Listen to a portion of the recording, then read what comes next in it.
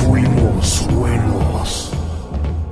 Buena, buena, queridos escuchas, amantes de lo misterioso y lo paranormal. Sean todos bienvenidos a una nueva sesión de su podcast favorito, Fuimos Wendy's. Por supuesto, eh, con los anfitriones compuestos por quien les habla y mi gran compañero Alvarito Matus del canal del crimen. ¿Cómo está, comparichi? Bien, compira, con harta pega, weón, harta pega. Está, me ha tocado estar haciendo las últimas revisiones del libro que se viene. Eh, ahora sí que son las últimas, eso sí. Porque estoy, weyando con esa weá de la revisión del libro hace como siete capítulos atrás, pues, weón. Pero ya, ya está como ya más o menos avanzado y, y ya esperemos que poder finiquitar luego eso para ver si es que sale ahora en, en enero el librito. ¿Y tú, Rafita, cómo has estado? Todo bien, comparito. La verdad, desde el último capítulo que grabamos no, no hay mucho que contar. También así como ya terminando el video que estoy haciendo de Rival Schools, en la pega, weón, también con un poquito más de carga laboral porque ya nos acercamos a fin de año, pero te veo, la verdad te veo un poco más estresado a ti, Alvarito, porque me imagino que en las revisiones finales de un libro, weón, se revisa a muchos niveles, de repente a nivel de redacción, pero también a nivel ortográfico, weón, de puntuación. Y, y- y debe ser una pega que, es- weón, nunca te quedar perfecta, loco. No, pues siempre ocurre el problema en las ediciones. El tema es que lo, lo más terrible de todo, Rafita, es que vos revisáis, revisáis, revisáis. Después otro weón va, revisa, otro tercer weón, un cuarto weón revisa la weá. Queda como todo perfecto, publicáis la weá, después abrí el libro en la primera página con y tenía una pifia. Es clásica esa weá. Sí, pero eh, estos locos no hacen como una especie de log, así como de bitácora de, cualquier cambio que hayan hecho en el, en, el, en el- en el archivo que les llegó, por mínimo que sea, weón. Eh, sí, no, sí, igual hay una bitácora, pero el tema es que yo no manejo quiénes son los que están haciendo, por ejemplo, las versiones finales de la revisión, ¿cachai? Entonces estoy un poco supeditado a que lo tome un corrector y lo revise. Pues ahora me, me enviaron esta última versión, yo estoy como revisando y he encontrado algunos detallitos ahí que hay que afinar, pero yo estoy eh, optimista de que esta ya va a ser la última revisión, Rafita, y voy a poder relajarme y, te- y vamos a poder salir a, a compartir, Rafita. Te puedo invitar a un pisco sour si quieres. No, compadre, cualquier wea menos eso. We- Últimamente, a, a- a algunos eventos canónicos relacionados con Pisco Sour, weón, han dado mucho de qué hablar. Está acuática la cosa, Rafita. Podríamos decir que son historias creepy, son bastante creepy, pero yo creo que no tan creepy como la selección que le tengo en esta oportunidad, amigo, de historias de nuestros suscriptores que se han unido a nuestro Instagram de Fuimos Buenos, ya estamos cerca de los 1500 seguidores en esta cuenta relativamente nueva, donde usted todavía eh, puede mandar su historia paranormal o, su historia extraña que la haya vivido usted o, algún conocido. Así que Alvarito, una vez más, ahí hice una selección con pinzas de algunos relatos y según recuerdo, creo que le corresponde a usted, compadre, iniciar con, con la primera historia. Sí, pues. Mire, el la siguiente historia se llama eh, El halo de luz por Klepper. ¿Vale? Buena Güeñes. Qué bueno que ahora tengan Instagram. Se les extraña cuando no suben capítulos. Sigan así el mejor podcast de Chile. Oh, Eso ya lo sabemos. Ah. Hace años que tengo por pasatiempo salir de pesca, interés que comparto con un primo.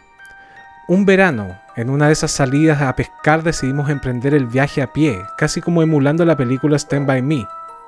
Nos bajamos en la carretera listos para este viaje de unas 6 horas de caminata por, eh, en medio del bosque hasta llegar al río.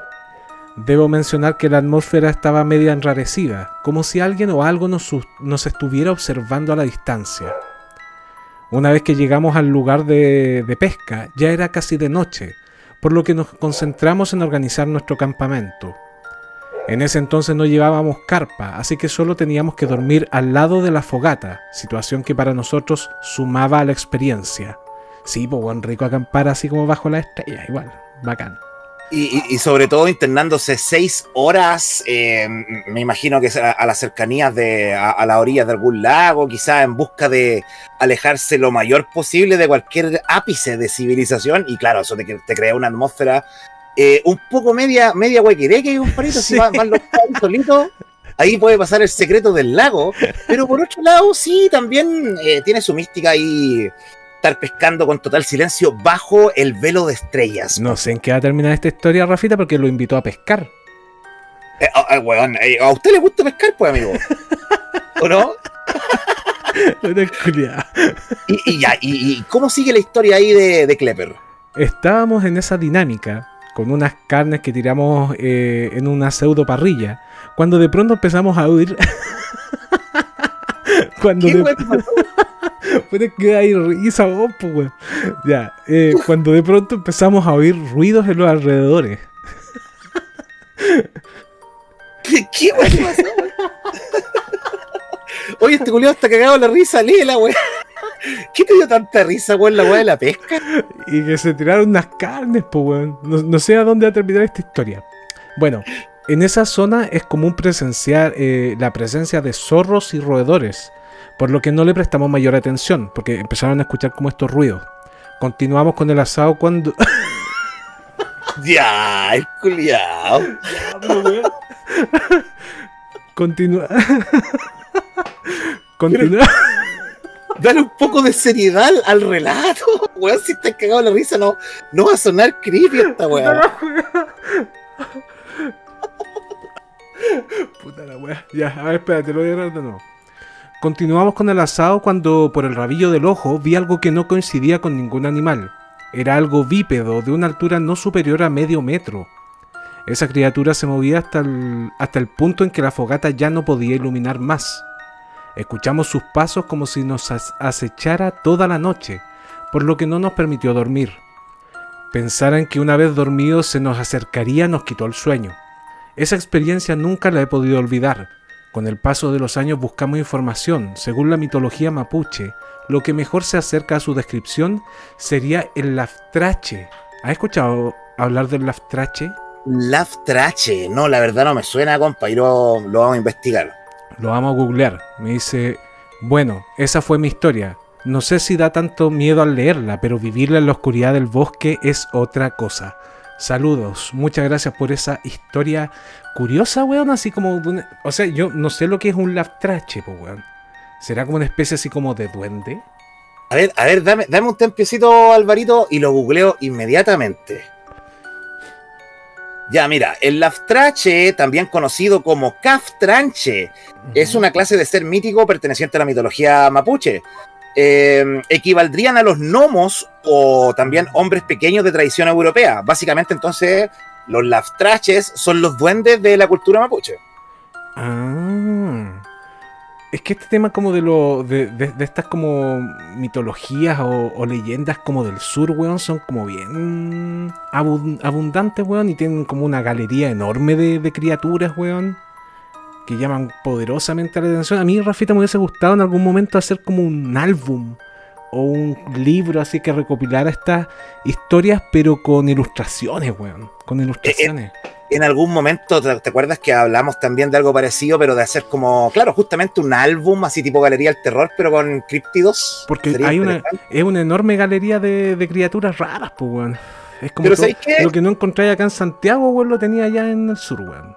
Eh, pero aquí en Santiago también tenemos nuestros críptidos irrepetibles en, en nuestra región, pues, comparito. Ah, bueno, ¿Cierto? Sobre todo por ahí en las comunas céntricas. Ándale. Oiga, compa, ¿sabe qué? Eh, yo, yo me- recuerdo que alguna vez también discutimos sobre el tema de las leyendas y su origen. Y acordamos que, bueno, es muy probable que toda leyenda tenga un origen real. ¿Te acuerdas que hicimos como, bueno, una teoría bien sensata sobre el cuero, el cuero vivo? Claro. que probablemente habrá iniciado con el avistamiento de, de- de alguna mantarraya, que suele pasar que eh, entran por las desembocaduras de los ríos hacia lagos, weón, y probablemente alguien sin conocer este animal lo ve y empieza a generar eh, leyendas, ¿cierto? claro. Probablemente, claro, también el, el origen de este laftrache, también, no sé, pues puede deberse a, a montonera de cosas. Se me ocurre de repente un, un, un ave así como un búho caminando, no volando. Mm. Entonces, claro, como avistarlo así como por el rabillo del ojo o como cuenta el amigo, eh, ver alguna silueta en ese punto donde justo deja de iluminar el fuego, eh, claro, parecería algo extraño, weón. Claro, es como. Eh, sé que la otra vez cuando estábamos leyendo como historias así, no necesariamente chilenas, ¿cachai? Estábamos leyendo como animales críptidos y todo ese tipo de cuestiones. Había la descripción de una criatura que era de una parte de Estados Unidos, que también harta gente lo vio y que por lo que pude averiguar después justamente se trataba de un búho que era como gigante pero que estaba como pelado, que estaba enfermo. Y que Ah. andaba rondando justamente por un sector, no, no recuerdo en qué bosque en Estados Unidos, y que la gente lo confundía con una especie como de, de humanoide, con una cabeza gigante, pues weón, ¿cachai? Y era Claro, puta, y- un búho, pues weón, ¿cachai? Que era grande. Esos ojos de búho, weón, en la oscuridad, iluminados ahí solo con la luz de luna. Claro, lo veis de lejos, más encima sin pluma, el culiado que debe ser más feo que la mierda. Sí, Da para que espantarse, pues, weón. sí, Y, y por otro lado, bueno, yo, yo también he, he salido, bueno, antes, muchos años atrás, con mi papá y mi hermano, eh, íbamos de pesca, ¿cachai? Eh, pero no te rías, ahora sí, polvorito, ¿ya? Y- y- íbamos de pesca, y claro, eh, aunque no, no pique nada en toda la noche, weón, o sea, aquí uno, dos, tres peces, weón, eh, la experiencia de estar ahí en... Puta, porque una, una, una, un ambiente que para un weón de ciudad, weón, es, es poco usual, pues, weón, oscuridad total, un cielo enorme, ¿cachai? Sin sonido. Pero resulta que en la noche hay tantos sonidos, weón, que uno desconoce. Que claro, eh, empezáis a sugestionarte y, y lo relacionáis a cualquier weá. Recuerdo que una vez cuando fui a la parcela de, de unos familiares de un amigo, nos fuimos a, a quedar ahí un par de días. mm, Puta, el, el pique para comprar copete era, era más o menos extenso. Puta, pon- pon- ponele 40 minutos a pie, ¿cachai? Y de vuelta habían varios kilómetros con oscuridad total, pero sabíamos que el sector estaba lleno de animales, tanto domésticos como salvajes. Y, y weón, escuchábamos gritos guturales, así como un cantante de, de death metal, weón. Y puta, nos cagamos de, de miedo al principio, pero después, después comprendimos que eran cabras, po, weón mm, eran chivos. Que los locos, weón, tienen un montonera de gritos distintos. Y claro, en la noche escucháis esa weá. Y la última weá que te hay que imaginar que, que, que, que es una cabra, weón. Pensáis al tiro que es, es- es un críptido culiado. Sí, pues weón. De hecho hay algunos eh, como videos que han mostrado en internet, en, por ejemplo en, en bosques de Estados Unidos, de Rusia, donde se escuchan los sonidos pero brutales. Y no te los podías imaginar como de animal. Bueno, allá la, la- la fauna, digamos, mucho más extensa, pues weón. Ahí te podías encontrar con animales realmente peligrosos. O sea, weón, es basta bajarte así en la carretera para que te pueda comer un oso, ¿cachai? Es, es brígido. Pero, Claro. pero acá en Chile no tenemos tanto. O sea, tenemos varios animales, ¿cachai? Una biodiversidad considerable, pero así como animales como tan, tan peligrosos, puta, yo creo que no. Pero me imagino que en esas situaciones como la que describió aquí el amigo, el primer pensamiento que se te viene cuando ves algo extraño o escucháis algo extraño no es muy racional, po. Inmediatamente te, te sugestionáis con que conche tu madre, que esa weá que vi, ¿cachai? Pero por ejemplo, no sé, no sé si es acá en Chile, pero hay, hay por ejemplo, aves cuyo canto, que, que de partida son aves nocturnas, porque hay aves nocturnas, y, weón, el canto que tienen, hay un pájaro que canta como si fuese el llanto de un bebé, po, weón. Sí, Me muy similar. Imagínate, weón, te internáis en el bosque, total oscuridad, y escucháis, weón, así, al lado tuyo, el llanto de lo que tú claramente interpretas como un bebé humano, que te cagáis, po, weón. Sí, pues weón. Pero, ¿por qué no, no, no, no, eres, no conoces la totalidad de, de- de sonidos que pueden ser comunes en, en esos sectores, po? Sí, pues weón. Eh, Bueno, yo, yo me acuerdo que con unos tíos, con unos primos, siempre nos íbamos también a acampar justamente por esa sensación de, de estar como en lugares eh, como misteriosos, pues, weón. Yo me acuerdo que nos íbamos para allá, para cerca de las siete tazas, weón, a acampar, pero a la mierda, por ahí donde está el parque inglés, ¿cachai? Ya. Y puta, igual la sensación era bacán porque estáis desconectado de todo, po, weón. A mí por lo menos, no sé, más que la playa incluso me gusta como ese, ese, esa idea de irme a acampar hacia la mierda, loco. así.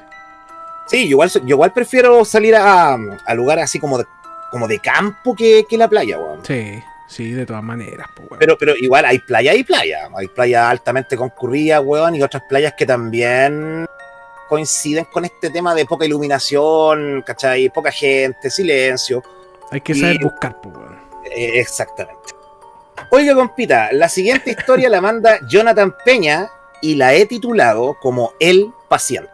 Ya. Dice: Hola, buenas noches, Rafa y Álvaro. La historia quizás no es de terror, pero sí curiosa. Yo soy enfermero. A principios del 2013 estaba en una clínica de alto renombre de, en mi ciudad. Como les dije, eh, claro, soy enfermero. Y en ese tiempo de emergencias, un día llegó una emergencia eh, vital. Un hombre con múltiples impactos de bala en el cuerpo. Dice el amigo aquí que tenía pinta de, de, de sicario. No sé si lo pueden mencionar eh, por las normas de YouTube. Puta culiao, esa weá se pone antes, pues weón, ya lo mencioné. No, sí se puede decir. Ah, ya. El, el caso es que lo expusimos. O sea, le quitamos la ropa para revisar lo- los impactos de bala y por dónde habían salido las balas, que eso también es, es crucial en, en este tipo de intervenciones. Al hacerlo, el loco tenía cadenas de colores, como de amarres.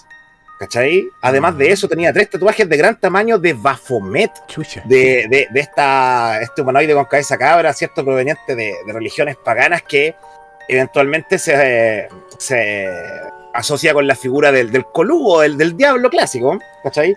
El hombre tenía tres tatuajes de esto, uno en cada brazo, el otro en el pecho. Nos miramos extrañados. Sabía, se veía que el loco no estaba en buenos pasos, pero ah, había que ayudarlo. Dice, lo intubamos. Chucha, no lo ayuden tanto. Es, es intubamos, ¿cierto? Yo pensé que era entubamos. Bueno, lo intubamos y le administramos los medicamentos correspondientes. Pero lamentablemente el paciente falleció. Fue desconectado. Seguí y, y después de, de se empezaron a ordenar la sala de, de- de reanimación con el cuerpo ahí a mitad de la sala. Bueno, que debe ser habitual en, en este tipo de rubro. Que, bueno, e- esta no es la típica historia paranormal que hartas nos han llegado de personas que trabajan en el tema de la salud. Pero e- esto es, yo, yo diría que es más creepy porque esto es real. Imagínate a esas altas horas de la mañana, en la madrugada, ciertos sectores, la cantidad de, de- de emergencias que deben llegar. po. En este caso, claro, este loco llegó con impactos de bala, estaba lleno de tatuajes que mm, apuntaban a que el loco, no sé, se podía especular que era parte de alguna secta, ¿cierto? Pero, bueno, ¿tú, ¿tú conoces alguna historia, alguna anécdota de, de algún weón que haya llegado a urgencia en condiciones impactantes? Puta, eh, algunas, algunas, pero recuerdo una que me está, que me contó de hecho hace poco una tía, que, me la había contado cuando chico y yo no me acordaba. Que lo que pasa es que ella tenía una amiga, o sea, un amigo que trabajaba justamente acá en el sótero del río, pues, weón. Y era como la primera semana que estaba trabajando ahí y se le murió un paciente, pues, weón. Un viejito. Y puta, en ese entonces, estoy, estoy hablando así como mediados de los 90, tenía que atravesar como un bosquecillo que había entre la parte del sótero del hospital y la morgue. Ya. Puta, y cubrió el cadáver con una manta, ¿cachai? Y salió con la comilla, eh, con la camilla, ¿cachai? Caminando por este bosque oscuro, ¿cachai? Que yo me acuerdo que yo lo veía, o sea, yo conocí ese, ese sector del que me habla mi tía. Y dice que va como por la mitad del camino con este cadáver. Y de repente el cadáver se mueve, loco, y se tira un, un, un peo, po, weón. Así un gas, así te- terrible fuerte. Pero el cuerpo se movió, po, weón, ¿cachai? Y este weón se asustó más que la chucha y salió corriendo, dejó el muerto tirado en mitad de la. del bosque, de ese pequeño bosquecillo. Y claro, finalmente esa cuestión es un- una reacción normal, digamos, los cuerpos que de repente tienen como estertores, se salen gases y ese tipo de weas son completamente naturales. Pero este weón, no sé por qué motivo, siendo enfermero, no, no lo sabía, po, weón. Que a lo mejor no, no tenía mucha costumbre en tratar con, con pacientes ya fallecidos, po. Y las otras historias que se contaban acá en el sótero, que eran dos, que hay una que, que de hecho salió incluso en la, en la cuarta, que salió en la portada de la cuarta del típico weón que llegó con el rodamiento, ¿te acordáis? Sí, E- esa, no, no sé si fue acá, pero esa cuestión fue famosa porque salió en todos los medios de comunicación. Eh, y la otra, que es bastante macabra, que no sé si decirla acá, weón. Pero, puta, voy a tratar de decirla con palabras clave. Trata de, claro, de bájale un poco el, el tono.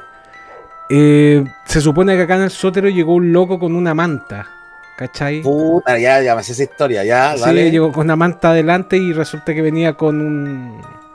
Ya, pero ya cachai, pues, bueno, a qué me refiero es que no lo quiero decir porque nos van a cerrar el podcast, weón. Sí, no, esa historia es re Eh, fuerte. es fuerte, oh. pero yo no sé si será real, ¿cachai?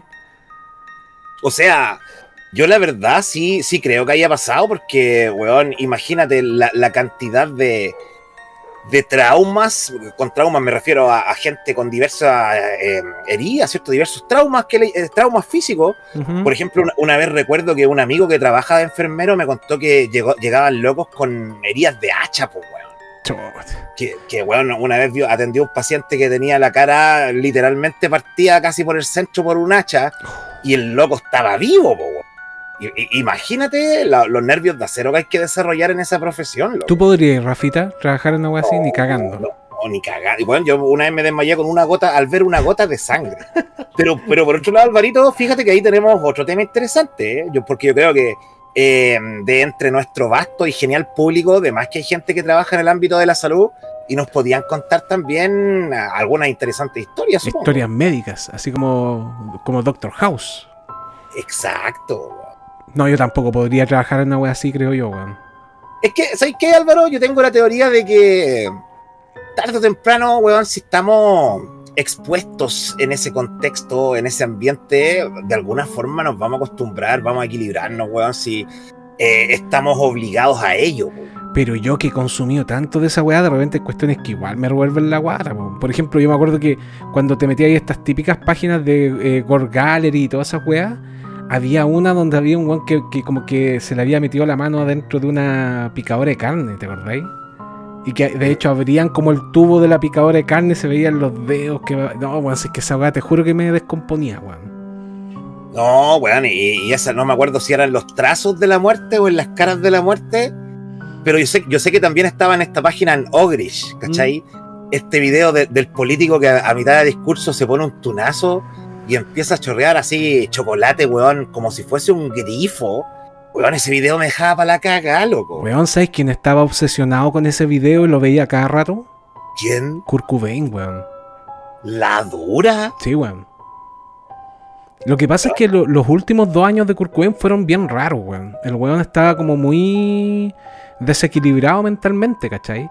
Veía, por ejemplo, estos videos de automurición así constantemente, se quedó pegado con ese video. En cierto momento, el weón era amante de los animales y de repente, como que empezó a, hacer que, el que un gato que tenía se cruzara con un conejo, ¿cachai? Como que estaba haciendo weas muy raras, weón. Perturbado por las drogas también, yo creo. ¿Esa wea del gato con el conejo la contó él? No, la, la, dijeron como cercanos a Cobain. ¿Cachai? Ya. Así, gente cercana que decían que, que chucha le pasaba a este loco, ¿cachai? Que estaba como. Puta, mucho consumo de droga, yo creo, lo tenían alterado, weón. Y tenía una. Seguramente tenía alguna también alguna enfermedad mental que se estaba desarrollando, weón. Puta, bueno, en, fin, eh, en base a que yo reacciono mal con esos videos, de hecho los cierro antes de que algo pase, porque típico que últimamente te mandan muchos videos de, de estos videos de, de narco, weón, de los carteles, y ya cuando cacho que es algo así, no, no, no lo veo porque no quedó bien, weón. No, pues si no es para quedar bien la weá, definitivamente, weón. A mí me mandaron eh, unos videos de ahora de, de, estos cabros que estaban haciendo unas molotov, weón. En el IMBA. Puta que la cagaron los cabros, pues, weón. No se metan en esas weas, cabros, weón. Oye, weón, increíble. Salían los locos todavía en llamas, weón. Weón, para la cagada, weón. Qué terrible, weón cuático, loco. Pero bueno, oye, buena, buena esta historia que nos manda Jonathan Peña. Macabro que ande con, tres tatuajes de Baphomet, pues, weón. Ah, sí, volviendo a ese tema. Sí, eh, weón.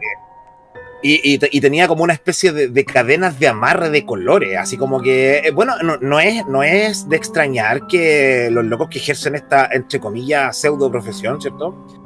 Eh, estén vinculados con algunos cultos, con algunas creencias que, eh, como por ejemplo el tema de, México, por el tema de la Santa Muerte, como es que, así eh, está bien dicho, ¿cierto? Sí, Que, claro, de repente hay iconografías que para el común de la gente claramente resultan satanistas o, o, alegoría al diablo y toda esa weá, pero también no necesariamente así. A lo mejor son otro tipo de religiones que tienen esas figuras, pero no son necesariamente de malévolas. Sí, pues o sea, el mismo Baphomet tampoco hace referencia necesariamente al diablo dentro de otras culturas, pues, ¿cachai?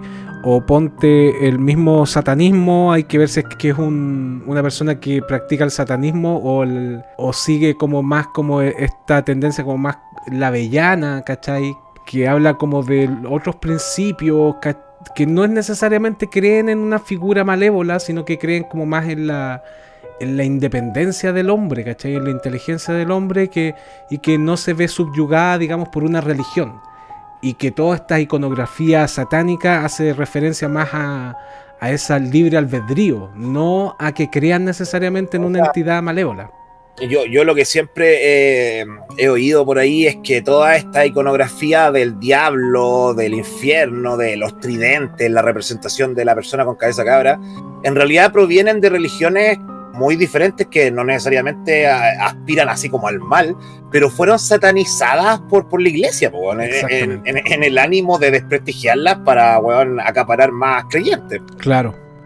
Claro, pero claro, hay que ver quién, quién adopta, digamos, eh, esa figura para qué, pues, weón, ¿cachai? Si es para glorificar efectivamente una entidad maligna, ¿cachai? Como el diablo, o simplemente por moda, weón.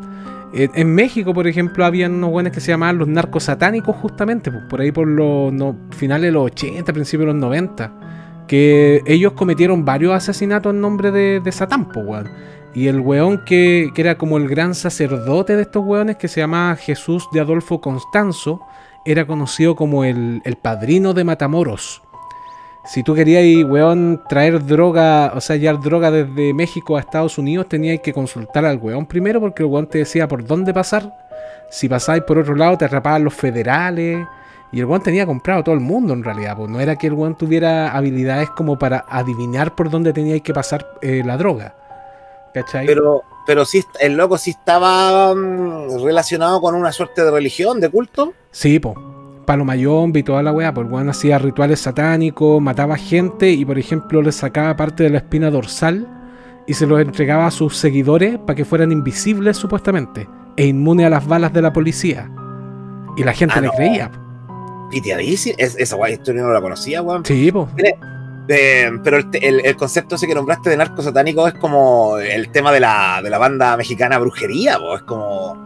Capaz estilo, que estén ¿no? un poco influenciados en esa weá, porque de hecho hay Yo varias que sí. cosas que están influenciadas de este caso. por- hay una película que fue bien famosa en los 90 que se llamaba Perdita Durango, que justamente está inspirada en el caso de los narcos satánicos, pues weón, ¿cachai? Esa es una tremenda historia también, weón. No, de- pero no, no, no, no como, como que esa historia encaja o no encaja en el perfil de- del material que tú cubres en tu canal, compa. Sí, ¿Se po. podrá esperar alguna vez que hables de ese tema? Sí, sí, se viene el caso también de los narcos satánicos, weón. Es un clásico de la criminología también. Amiguito, por favor, proceda con el siguiente relato de horror. El siguiente relato se llama ¿Saben quién soy yo? de Manu Eguiluz. Buena, buena cabros. Una vez por allá por los 90, cuando tenía unos 13 años, una tarde de verano estaba viendo tele con mi hermana a eso de las 5, y de repente tocan el timbre. Salí a ver quién era, y era un viejito barbón, todo harapiento, y me dice, Hola jovencito, ¿tendría un vaso de agua por favor? Yo medio desconfiado llamo a mi hermana. Ella sale y me dice, anda a traer el vaso con agua. Se lo damos y de pasada le doy un pancito, un pan. El viejo nos dice muchas gracias, se pasaron y se despide muy amablemente. Pero antes de eso me pregunta, ¿tú sabes quién soy? Y se responde el mismo, yo soy el Tue Tue, vengo del sur y procede a despedirse. Chao Manuel, chao Karina. Quedamos helados, nunca le dijimos nuestros nombres. Con mi hermana hasta el día de hoy eh, hablamos del tema con cierto miedo. Saluditos. Oye, otra historia, esta vez aportada por nuestro escucha Manu Eguiluz, que también habla de, este personaje, de este críptido, o no sé si será críptido propiamente tal, pero una, una leyenda, weón, conocida no solo en Chile, cambia de nombre, varía, tiene algunas pequeñas diferencias en otros países, pero responde a esta figura del tuetue, del brujo, del hechicero, como se le llame, que tiene la habilidad de transformarse en un ave, ¿cierto? En un pájaro, pero también una de sus características es que mm, algunas veces se dice que es para evitar que te maldiga, otras veces, como narra la historia aquí del, del hombre, simplemente llega, pero tienes que atenderlo. Tienes Claro. que darle algo de comer, tienes que eh, mostrarte hospitalario, y de eso depende la, la reacción de, de este de pájaro, de este brujo. Igual es, eh, es cuático que se, que, que se supieran los nombres. Ahora, claro, podemos empezar a especular un montón. Pero igual, es, eh, o sea, para una historia, para un cabro chico, debe ser súper intimidante que te pase una wea así. Claro, o sea, incluso aunque simplemente fuese un, un lugareño que, que quisiese trolear, ¿cierto? Hacerle una broma a, a los niños, weón. Por la percepción de Manu, claro, es un recuerdo, que no se te olvida. Y aparte que es tan común, pues, es tan recurrente en todo Chile que se cuente la historia de siempre este caballero vestido de negro, weón, y, como que en tantos lugares, loco, eh, la, existencia de, estos weones practicantes de brujería, de magia negra, ni siquiera se considera leyenda, se da por hecho, weón. Yo, yo me pregunto, eh, ¿hasta dónde será cierto ese tema? De, ¿Efectivamente existirán cultos, existirán eh, practicantes de artes extrañas en, Chile y en, el resto del mundo. Bueno, de más que sí, pero específicamente como esta figura campestre del, brujo de negro, de, chaqueta negra, weón, ¿cachai?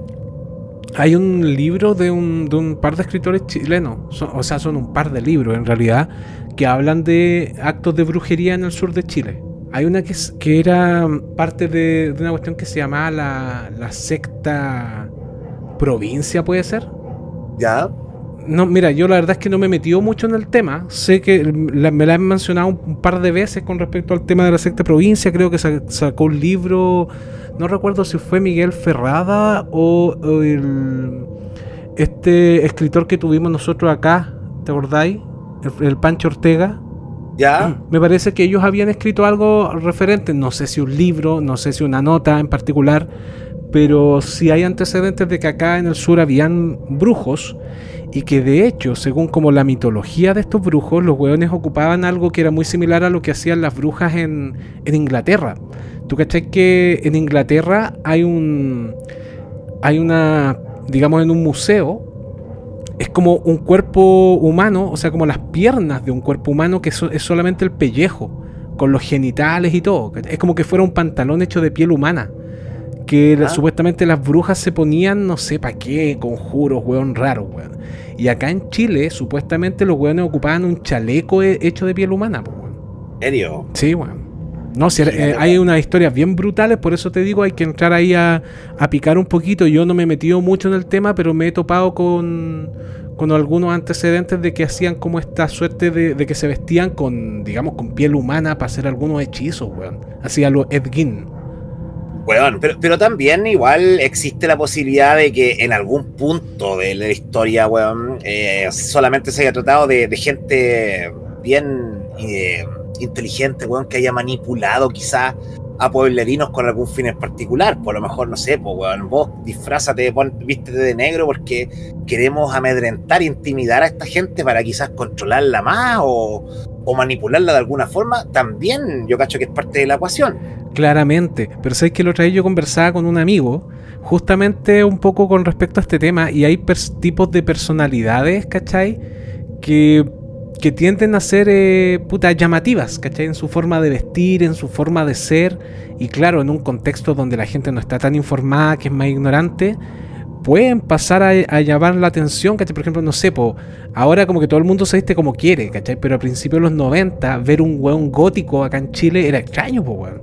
Vos decís, no, ese weón debe estar más loco que la chucha, debe tomar sangre, porque me decía los confundíais con los góticos, con los buenos que se creían vampiros, Entonces, siempre existe una persona que trata de llamar la atención, ya sea por su forma de ser, por su forma de hablar, su forma de vestir, y nosotros lo vemos en la actualidad, pero puta, no sé, pues llévalo a 100 años atrás, ¿cachai? Además que había un weón que a lo mejor se vestía raro, ¿cachai? Por supuesto, o, de repente, no sé, pues tengo mis cultivos, ¿cachai? Tengo mis campos que no quiero que se meta nadie. ¿Sabéis que voy a dejar amarrado, no sé, en algunos, en algunos postes a, no sé, una muñeca o una, una weá que la gente crea que, weón, yo soy un brujo y así no sea meter donde vivo yo, po? La cepa del, casillero del diablo, po, weón. Decían que el weón le pagaba a un weón para que se vistiera como del diablo, para que los weones no entraran a robarle los vinos, po, weón. ¿Cachai? Tiene mucho sentido, Sí, porque la gente decía que veía al diablo, sí, por eso se llama casillero el diablo. Y claro, el weón seguramente cachaba que le andaban robando las botellas. Y a lo mejor fue una forma de intimidar a sus propios trabajadores, pues, bueno. Yo, creo que es como una mixtura de, varias weas. A lo mejor efectivamente sí habían locos que se tomaban estos cultos, estas religiones en serio, eran verdaderos practicantes que hacían rituales y todo. Pero por otro lado también puede ser que haya sido alguna estrategia de gente, weón, un poco, un poco más avispada que el resto que haya querido sacar provecho de, la situación. Amedrentar, claro que sí. Oiga, amigo. Sorpréndame, sorpréndame con la siguiente historia. Lo voy a sorprender, porque esta historia la manda Orlando Plath y se llama El Hotel Fantasma. Esta historia tiene lugar en la ciudad de Valparaíso. Fuimos con mi pareja a una determinada actividad Ya, vale. No vamos a hacer preguntas al respecto. Fueron a, a censar, una wea así. Ah. Nos relajamos con el asunto de dónde pasar la noche. Quiere decir que, claro, llegaron y ya, weón, asumieron que era súper fácil encontrar un lugar y, y no se preocuparon. Pero se les hizo tarde. Y a eso de las 7 de, a- de las 7 de la tarde, terminaron preguntando en un hotel que está al final de la calle Cumming. Los que son allá de Valparaíso van a saber. Eh, este hotel estaba frente a un viejo cementerio. Era un hotel muy antiguo. Lo atendían dos ancianos. Tras llegar a un acuerdo eh, con una habitación, se fueron relajados sin llaves. O sea, se fueron solamente con las llaves de la habitación. Ya que en el hotel se nos dijo que este estaba abierto toda la noche. O sea, bueno, no tienen para qué llevarse llaves porque nuestro hotel no cierra. Solamente la llave de la habitación. Volvieron en la noche, pero el hotel estaba completamente cerrado. Habían algunas ventanas encendidas. Gol- golpearon la puerta muchas veces hasta que dijeron, bueno, pasémonos por una ventana. Entramos y nadie en ningún lado, en ninguna oficina y habitación. Eh, en el primer piso se sentía un aire muy denso, casi irrespirable. Llegando a la pieza donde nos quedamos teníamos una vista directa al cementerio y a sus, estatuas, ya que quienes conocen saben que es un cementerio muy, muy antiguo que está al final de la subida de Camin. Toda la noche escuchamos golpes en las paredes, también en las puertas. Yo salía y no había nadie. Eh, el hotel era profundamente tétrico en cuanto a la ambientación. Sonaban muchos ruidos provocados por eh, humanos, supusieron ellos, pero nunca pudieron eh, corroborar que alguien estaba ahí. A la mañana siguiente no habían dormido nada. ¿cachai? Seguía sin haber nadie en el hostal, pero habían objetos en el suelo y continuaba ese extraño aire denso. Dice que salieron corriendo de ahí. Y de pasada nos invita a conocer este cementerio y este hostal que está al final de la avenida Cumming. Este hostal está justo frente al cementerio en Valparaíso. Saludos y tremendo podcast. Ojalá tenga vida para rato, dice nuestro amigo Orlando. Interesante historia, compadrito.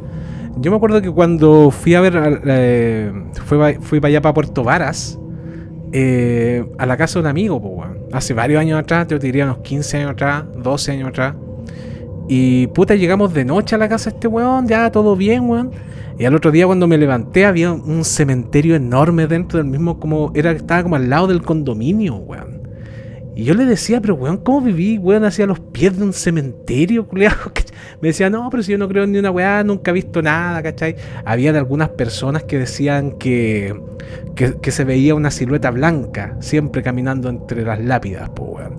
Y de hecho yo pasé por ahí, tengo una foto por ahí por mi Facebook, donde salgo caminando porque justo al frente de, entre el, entre el, ¿cuánto se llama? El condominio de mi amigo y el cementerio había un paradero con un símbolo satánico y un 666 rayado en la weá, ¿cachai?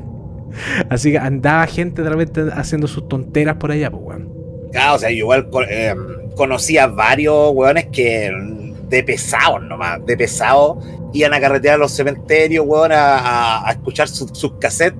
Y claro, de repente dejaban así como simbología media satánica para que se asustara la gente, pero los weones eh, eran, bueno, lo hacían de pa' huevear nomás, po. Puta mía, una vez me contactó una mina por el canal, weón, que decía que se iba a hacer su, sus cositas allá al cementerio, pues weón. La. Ah, ah, pero weón, más detalles, por favor. ¿Cómo, cómo No, porque a la mina le gustaba ir a follar al, al cementerio, pues weón. y, y te escribió ah, específicamente para contarte eso. Me contaba otras cosas, pues weón. Pero Eh, eh, en la- entre esa, entre esa me contó esa weá y yo quedé así como plop. Esa es la La mina que te- yo te contaba que había sacado unos huesitos, ¿te acordáis? ¿Ya? Sí, sí. Sacó unos huesitos de un supuesto escritor chileno de, de literatura gótica de los años, puta, 50. Y se llevó los huesitos para su casa, weón. E- e- Esa es una de las seguidoras más piolas del canal del crimen, pues, weón. Puta, no, ahí no hablamos más, pues, no. Intimidante, pues, weón. O sea, igual yo en serio conozco un, un loquito que también le, le encanta esa weá de, de ir a vacilar a los cementerios. De hecho, buscó por mucho tiempo una pega de, de guardia de cementerio hasta que le resultó, weón. Y ese loco también, eh, weón, era un loco así muy capo en películas como de cine B o películas de, de cine muy desconocido, pero todo de terror. ¿cachai? Y el loco me mostraba caletas de películas así, una weá de zombies pal pico de buenas, loco. Pero claro, el loco era, era, era acuático. Cuando me, me iba, iba para su pieza, una vez el loco me mostró unos huesos igual, porque me dijo que el loco andaba por el cementerio por cierta parte, que dice que los huesos están botados, pues. Tú ni siquiera tenés que, eh, weón, así como abrir una tumba, porque vais caminando y de repente, weón, si ponen la suficiente atención, te encontráis huesos y, y otro tipo de weas.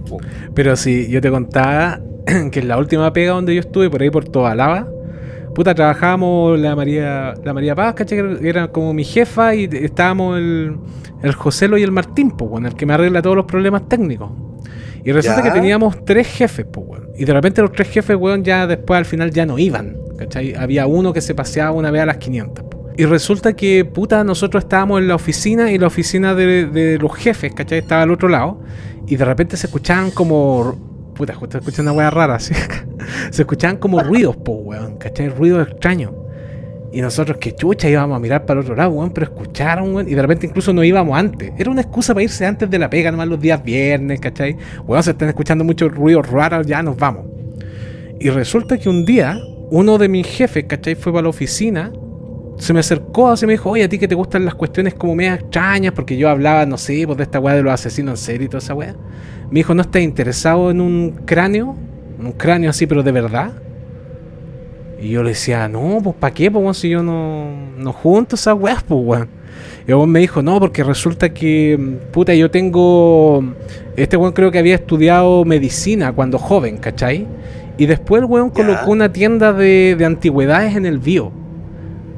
Y cuando, claro, llevaba un montón de weas y, resulta que este weón cuando era joven, cuando estudiaba medicina, sacó huesos del cementerio general, ¿cachai? Porque los cabros iban, ¿cachai? Sacaban huesos, los rayaban como con un lápiz pasta, ¿cachai? Donde iba cada parte de los huesos y el weón tenía como parte de la columna, parte de la columna, tenían cráneo, tenía un montón de po. y el weón las tenía en la oficina al culiado, pues weón.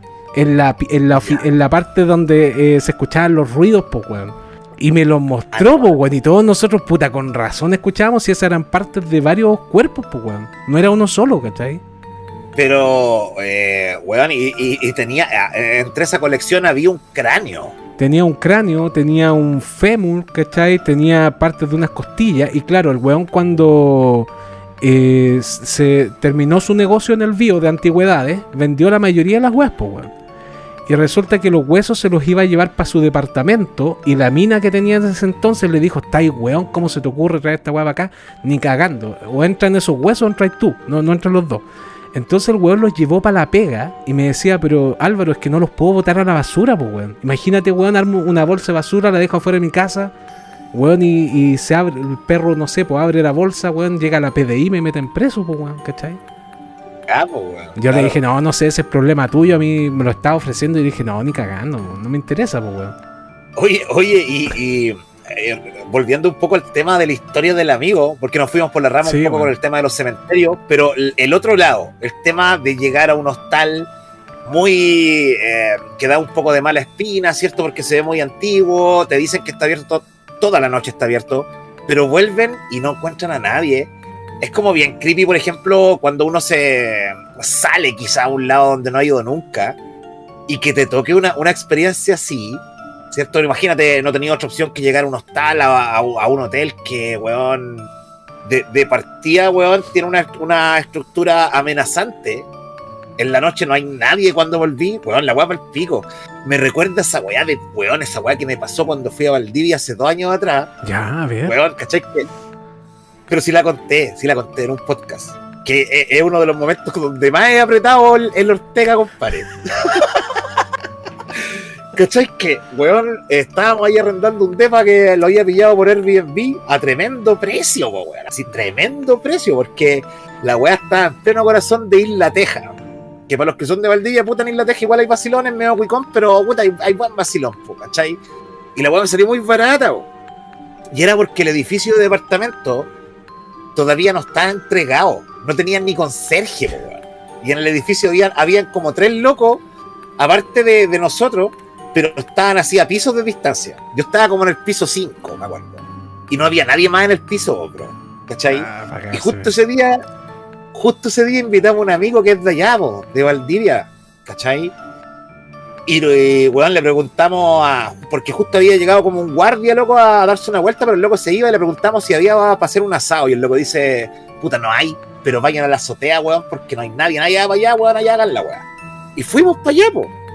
Y empezamos a contar historias de terror y toda la weá, y de repente, weón, ya nos dio un poco de frío. Y nos fuimos al DEPA y seguimos contando weas brígidas, po, weón. Pero antes de que este loco se fuera, mi pareja y mi hijo se fueron a acostar. ¿Cachai? Estaban raja ya. Y nosotros teníamos la música todo chancho. Y yo salgo a dejar a este weón para el Uber. Cierro la puerta, ¿cachai? Y, weón, no había nadie más en el edificio. El loco se va, yo vuelvo. Y no podía entrar al DEPA. Y la, la música estaba todo chancho. Y, y mi pareja con mi hijo raja durmiendo en la pieza. Y no me escuchaban, weón. Y, y de repente se corta la luz, po, weón. ¿Cachai? Como que la apagan en el pasillo. Y yo, oh, conche tu madre, loco, estaba para el pico. Y, y me pasó por la mente, ya, weón, sé lo que voy a hacer. Voy a ir abajo, weón, donde hay luz en el lobby. Voy a quedar ahí toda la noche porque esto no van a despertar ni cagando. Pero a- afortunadamente volve- eh, pude abrir, weón. Eh, Era esa weá que. ¿Te, te ha pasado que intentáis abrir una cerradura y no abre nunca la weá? Sí. pero después por arte de magia, pa, abre, ¿cachai? Pero claro, como estaba sugestionado, como habíamos contado historias toda la noche, weón, uno se pasa las medias películas. O sea, yo no ando abriendo cerraduras así por la vida, pues, weón. No sé. No, pero te estoy hablando de, pero cuando vaya, no sé, pues imagínate que vais de vacaciones a un lado, arrendáis una weá y claro, tenéis que entrar con una llave, weón. Sí. Ah, tú, tú no podías abrir. No podía abrir la puerta, weón, si estaba, Ah. estaba- estaba en el pasillo. Coche, mi madre. ¿Cachai? Y, y, weón, la única manera de bajar era, era en ascensor y se apagó la luz. Y claro, yo todo sugestionado de, weón, qué mala cagada, po, weón. Dije, conche tu madre, loco, qué weón hago. No, a nosotros lo que, lo que nos pasó, weón, fue cuando fuimos de gira estudio con mi, con mi curso. Nosotros nos fuimos en el colegio de gira estudio en tercero medio, no en cuarto medio. Y nos fuimos para el sur, para Puerto Montt. Y puta, como nosotros no teníamos mucha plata, nos fuimos solamente el curso de hombres, ¿cachai? El curso de las mujeres se fue a un lugar más bacán y nosotros nos fuimos al lugar más penca que había. Y era una casona que puta tenía una estructura rara, era de tres pisos de madera y, weón, como súper laberíntica la wea, muy laberíntica. De hecho, la señora que nos atendió nos dijo, no, pasen por acá, acá están las habitaciones. Pero Rafa, es que había unos pasillos que tú, no sé, seguíais derecho, derecho, derecho, dobláis a la izquierda. Y bueno, y no había nada más, no había una pieza, era como nada. Súper extraño, súper oscura, techos bajos. La weá es que igual lo pasamos bien y todo. Lo, lo más cuático es que las viejas de repente nos llevó para el tercer piso, como a una especie como de azotea, ¿cachai? Nos dijo, no, y acá pueden hacer un asadito, no hay problema. Pero Rafa, toda la estructura era de madera. Igual hicimos el asado, ¿cachai? Pero weón, era súper riesgoso. Y te juro, Rafa, que nosotros estuvimos allá como una semana, pasó como un año, y weón, esa casa culiada se incendió y se murió la señora y murió otra persona más, weón. Dura. Sí, weón. Salió las noticias, weón, todos quedamos para cagar, pues, weón. Es que, weón, es común que para, para el sur sean todas las casas de madera, weón. Sí. Yo una, una vez fui a la casa de un amigo que tenía una, una casa así grande, de dos pisos, pero en un sector así bien poco habitado, de cerca de Licanray, Ya. ¿cachai? Y la casa era toda de madera, weón, bonita la casa también, pues, weón. Pero el loco me decía, oye, mira, probablemente en la noche, weón, la madera cruje con el calor y con el cambio de temperatura, no te va a urgir, pues, weón. No, weón, sí, algo esperable. Pero loco, la casa era completamente de madera y, weón, era, era todas las noches, weón, crujidos, sonidos en todos lados, pero a un intervalo, weón, seguidísimo, de un segundo. No paró toda la noche y, y claro, es porque completamente la casa es de madera, la temperatura baja mucho en la noche y empieza a, a tronar la weá, po. Sí, pues empiezan como a comprimir. Cuático, comparito, pero yo creo que le- la próxima historia que usted va a narrar puede ser hasta más cuática. ¿eh? Veamos. Esta historia se llama Los Visitantes y nos la envió nuestro amigo Arc Artist. Saludos Álvaro y Rafa, mi nombre es Enzo. Les dejaré una historia paranormal real de muchas que tengo y que me pasaron. Para colocar un poco de contexto, a mí me sucede mucho esto de las parálisis, de- desdoblamientos, sueños extraños, a veces premonitorios incluso, visiones de cosas extrañas, etc.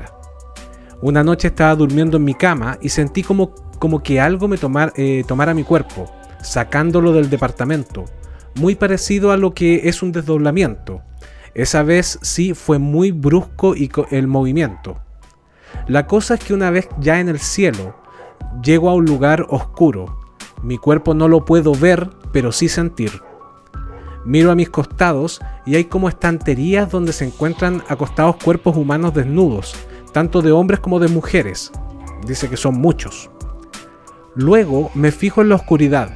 Logro visualizar un pasillo largo en el cual comienzo a avanzar y en eso que voy caminando se me comienzan a cruzar unos seres bajos muy delgados y cabezones, como el típico, la típica imagen de, del alienígena gris, ¿cierto? Ah. Entonces cada vez que, me, que se me cruzaban estos seres y los tenía cerca, les sentía un olor como al del fósforo quemado. A eso olían estas cosas. A todo esto yo seguía avanzando por ese pasillo. De pronto llego como a un tipo de sala oscura y en el centro de esta había una luz. Voy hacia ella. Me doy cuenta que se trata de una mesa y sobre esta hay un hombre desnudo de unos 50 y tantos años. Me doy cuenta que en su cuello tiene un herrete, estas plaquitas de identificación que usan los soldados.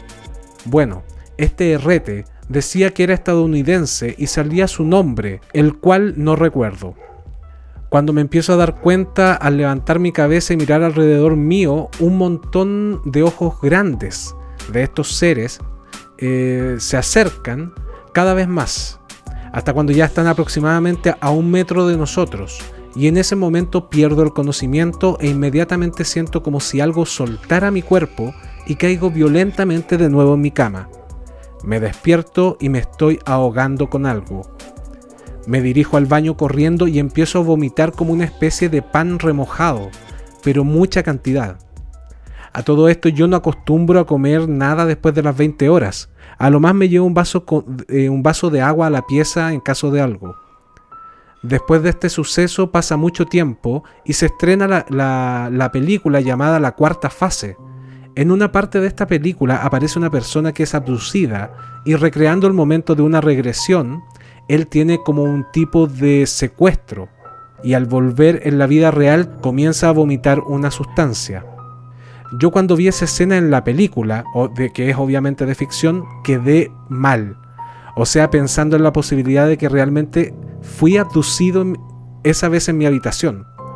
Esa es una historia que tengo y de las que más me, ha marcado, casi al punto de que, eh, de que se creó un trauma en mí.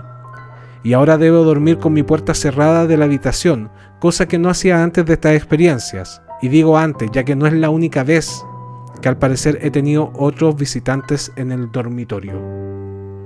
Una historia piola que nos manda nuestro amigo Enzo, weón. Ya, aquí estamos ya yéndonos a, otra, a otra zona que quizás es un poco más, weón, eh, un paso más allá de, de encontrarse con fantasmas y toda la weá, porque según lo que describe el amigo, fue abducido, pero de manera astral, por seres, y tuvo cierta reacción que se le hizo muy similar a, una película, ¿cierto? Vomitando, weón, una weá que inexplicablemente no debería estar ahí en su estómago. Es como la, ¿te acordáis cómo se llamaba esa película, Alvarito? Que un día la comentamos, esa que en, cierto pueblo unos locos empezaban a soñar weas muy brígidas y todos describían que estaban soñando y en un punto, en un punto de este sueño aparecía un búho pero se daban cuenta después que no era un búho y empezaban a gritar así, weón, aterrorizados. Mm, sí, parece que sí me acuerdo.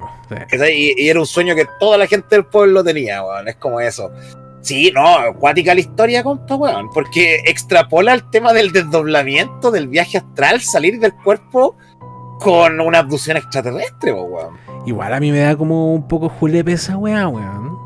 El tema de, de, todo lo que tiene que ver como con lo extraterrestre, weón, porque Mira, el otro día estaba viendo justamente un, par de, youtubers que hablaban de justamente la temática de lo paranormal y todo eso. Y había uno que hizo una declaración que me llamó la atención, que decía que él le tenía más miedo a los fantasmas y que creía más, o sea, no que le tuviera más miedo, sino que creía más que existieran fantasmas antes de que existieran, por ejemplo, extraterrestres. y yo siempre he pensado todo lo contrario, pues, Igual yo, pues, weón. ¿Cachai? O sea, creo que existe más probabilidad de que existe vida en otros planetas, weón, que, el hecho de que existan fantasmas propiamente tal, pues, weón. Pero ahí, ahí, por ejemplo, lo que cuenta el, el, nuestro amigo Enzo acá también habla de sueños muy vívidos, muy intensos, muy eh, que se experimentan de manera física, ¿cachai? Yo, yo sé que, bueno, todos hemos tenido sueños que, bueno, lo, son emociones genuinas. De repente yo he despertado teniendo pesadillas de las cuales ya no me acuerdo, pero despierto igual exaltado, alterado, y de repente, no sé, pues tengo que prender la luz para, weón, calmarme un poco. Pero yo entiendo que hay gente que también tiene sueños incluso más vívidos, que recuerdan bien, ven cosas completamente claras y recuerdan detalles, ¿cachai? Y, y de repente igual debe ser fome tener esa, e, e, esa experiencia culiada y, y, que bueno, despertí y, y, que te parezca tan, tan detallada, tan real, que independientemente que lo sea o no, pero te tiene una incidencia desde ahí en adelante. Po. Generáis ah, traumas, cambias de cierta manera, igual es, es fome la. Po. Sí. Ahora, habrá sido como una suerte de de somatización justamente de, de, un sueño demasiado vívido? Yo creo que es, es, una teoría, asumiendo también que Lenzo dice que es una de las tantas, uh, de, las, claro. de las tantas experiencias que él ha tenido. Y, y, claro, si tratamos de buscar una explicación plausible, lo podemos asociar con un tema, claro, de, de, de, que experimenta estos sueños reales, que tal vez son tan reales que no, no hay una línea clara de qué pasó y qué no pasó. Pero por otro lado, weón, ¿qué sabemos nosotros? Po? Que a lo mejor no tiene una, una, sensibilidad especial, po, weón. A lo mejor, eh, no sé, pues este mismo tema de que él menciona en su relato de que también ha tenido sueños premonitorios. Ahí ya estamos hablando de otro tema también, po, weón, ¿cachai? Claro, o sea, entendiendo premonitorio como que lo que yo sueño y recuerdo sucede tal cual. Claro, weón. Sí, pero, pero como te digo, Alvarito no es ni la primera y yo creo que ni la última persona que me ha contado historias muy similares. También eh, me llama mucho la atención lo común que son estas historias de desdoblamiento, ¿cachai? Que de repente, no sé, po, más de una vez me han contado, weón, y, y, me levanté al baño, voy a orinar y cuando vuelvo me veo ahí durmiendo, ¿cachai? Como que no, nunca me, me levanté. A mí de repente me pasaba, pero me pasaba que en las mañanas, weón, cuando tenía que ir, una vez que para ir a una pega tenía que levantarme como a las cinco y media, cagado sueño, como que soñaba que prendía la luz, me vestía y que me iba para la pega, po, y decía, ah, weón, voy bien en la hora, y de repente, conche tu madre, no, todavía sigo en la cama. Eso es como la experiencia más cercana que he tenido de desdoblamiento. ¿Y tú, Alvarito, has experimentado algo similar? Desdoblamiento, puta, no. A lo mejor lo más cercano que lo conversamos de hecho en el capítulo pasado fue verme en situaciones, verme a mí mismo, así como en tercera persona, en dos situaciones bien puntuales cuando yo era chico, que fue para un cumpleaños, que yo me vi así como con mi mamá, ¿cachai? Puta con la torta y todo eso con mis amiguitos, y la vez que me caía a la piscina, pero justamente estábamos hablando de que esa edad uno tal vez no, no retiene muy bien los recuerdos y tal vez los trata de recrear de alguna forma en su en su cerebro, pues, weón, ¿cachai? Como para ir completando como este puzzle, digamos, de, de, nuestras vivencias. Entonces tal vez va por ahí, pero jamás he tenido como, por ejemplo, esta cuestión de acostarme y de repente verme flotando y ver mi cuerpo ahí, ir a otro lugar, ¿cachai? No. No, yo, yo, yo tampoco, como te digo, lo más cercano es, eh, en ese estado de como que estáis despierto y dormido, como que para mí es muy común eh, alucinar, weas, po, ah, sí. de repente de repente, no sé, pues ver caras o ver. A, a, mi pareja, por ejemplo, le pasa mucho que ve insectos grandes. Mm. Así cuando de repente se está a punto de quedar dormida, como que, weón, pe pega un salto y, y claro, se, se, debe a eso, pues, weón. Oye, hablando de insectos grandes, Rafita, weón, ayer casi me dio un infarto, weón. ¿Qué weón te pasó, weón? ¿Cachai? Que estaba acá en la oficina trabajando, pues, weón. Y de repente siento un aleteo como de un bicho, pero enorme, oh. weón, enorme. Y, yo decía, ¿qué weá se metió por la ventana, po, weón? Y sabes que era un abejorro, Rafa, pero era gigantesco. Yo jamás había visto una weá tan grande. Era así como, no sé, como el porte, puta, no, no sé cuántos centímetros será esta weá. Pero era uno, enorme, weón. Es uno de los bichos más grandes que he visto en mi vida, creo o sea, yo. El, el, el, Alvarito ahí hizo, hizo un tamaño con, con, su mano, es como de 3, 4 centímetros. Weón, así. Te lo juro. Y yo, weón, así como que lo veo acá revoloteando y, y sé que me, asusté, weón. Porque, bueno, aparte que muchos sabrán que hace un tiempo atrás, weón, me picó un abejorro dos veces, weón, en el brazo, en el dedo, y, y duele más que la chucha la picadura del abejorro. Pero yo jamás había visto un insecto volador tan grande, weón. Y quedé muy sorprendido eh, después de que salí de mi asombro. Porque de verdad que yo en cierto momento empecé a mirar, yo dije, serán dos abejorros que están como, como agarrados, weón. que- pero no, no, era uno, ¿cachai? Pero, weón, me urgí, weón, de verdad. Oye, weón, y, y al final, ¿cómo te de- deshiciste del abejorro? No, pues bueno, el, el- como te decía, pues bueno, el weón salió solo. De- traté de, de- Iba a pescar, no sé, algo como para matarlo, weón. eh, pero se fue. Así que arrancó. Pero, weón, era una weá enorme. Te juro que nunca había visto una weá así. Me refiero al No, abejorro. Rígido, weón, weón, me, me- me acuerdo una vez que mi vecina de al frente, nosotros estábamos jugando en el pasaje, mi vecina tenía la puerta del comedor abierta y todas las luces prendidas, y de repente empieza a gritar, ¡ay, un murciélago, un murciélago! Y miramos así para el comedor de ella y se veía claramente como que algo como que cortaba la luz, po, weón, como que era una weá voladora pero grande. Y yo dije, ¡oh, cacha, weón, un murciélago! Y yo, puta, no, fascinado, quería puro verlo. Y weón, resulta que no era un murciélago, era una polilla enorme, loco. Enorme, y, y de ahí que pocas veces he corrido tan rápido como, como esa vez, weón. Era gigantesca, weón. La vecina después, el, el- como que el hijo la, la metió en un frasco de estos grandes, weón, y la liberó afuera. Pero de ahí quedé como conche tu madre, por acá andan esa weá, es posible que esa weá se meta a mi pieza. Y después empecé a weón a siempre tener todo cerrado, que me cagase calor, hasta que tuve que poner una, una de estas mallas de. ¿Cómo se llama? Bueno, eh, estas mallas bien delgaditas que ponía en las ventanas para que no el bicho. Esa weá. Sí, yo me acuerdo que una vez también cuando fui al sur también ve- íbamos saliendo de un carrete con unos amigos y también nos vamos acercando como a una casa y de repente un weón me dice, oh, cacha, weón, un murciélago está ahí como en la muralla. Y nos empezamos a acercar y era una polilla enorme, weón. También recuerdo haberla visto y de repente la weá se fue así, oh, quedamos para cagar. Oye, y, y hablando de historias peculiares, la historia que voy a leer que nos manda Daniel San Francisco se llama La lluvia de monedas de 10 pesos. Ya. ¿ya? Resulta que hace como 3 o 4 años, en la comuna de Huasco, tercera región de Atacama, yo, mi hermano y mi mejor amigo, que en paz descanse, nos gustaba ir al cementerio de noche simplemente por el hecho de cagarnos de miedo. Entonces, después de un carrete, yéndonos para la casa, nos da por ir a este cementerio. Era como la medianoche aproximadamente. La cosa es que yo, para motivar al resto, me salté la pandereta al cementerio para ingresar. Pero al momento de poner mis manos y empezar a subir las piernas, una moneda del- desde el cielo de 10 pesos le cae en la mano. Dice que él mira para atrás y, y- y ve a los amigos y les dice, ¿qué onda? Pero resulta que ningún amigo ha- había sido el que tiró la moneda. Una vez dentro del cementerio, lo siguen sus dos amigos que andaban con él, y al dar unos pocos pasos, vuelve a caer otra moneda de 10 pesos a sus pies. ¿Cachai? Pero esta vez estaban los amigos ahí con él, pues, weón. Nadie pudo haber sido, por lo menos nadie de los que habían ido. Empezaron a preocuparse. Y, weón, cacha, avanzan un par de pasos más y ve cómo las propias llaves de su casa caen del cielo a sus pies. Ya. Yo ya de eso no, su- no supe qué pensar. Y nos asustamos más que la chucha y empezamos a sospechar de nosotros mismos, pues bueno, obviamente, que es lo más lógico. Pero nadie era. La cosa es que damos la vuelta para subir por las panderetas cagados de miedo, porque desistieron de ir a jugar al cementerio después de esta weá. Y se da cuenta que su celular se le había caído, por lo que tuvo que devolverse.